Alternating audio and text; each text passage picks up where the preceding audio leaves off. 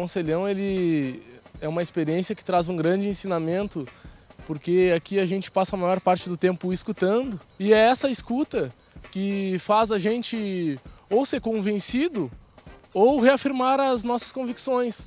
É um novo tempo de diálogo para o Rio Grande do Sul e para o Brasil. Conclusão que eu chego é que esse, essa conversa oportunizou o melhor conhecimento dos problemas substantivos do Estado, os encaminhamentos e até críticas em relação a algumas propostas. Portanto, somos é, do entendimento que esse tipo de reunião foi muito produtivo.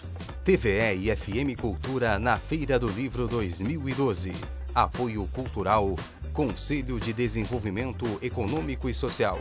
A cultura do diálogo muda nossa vida.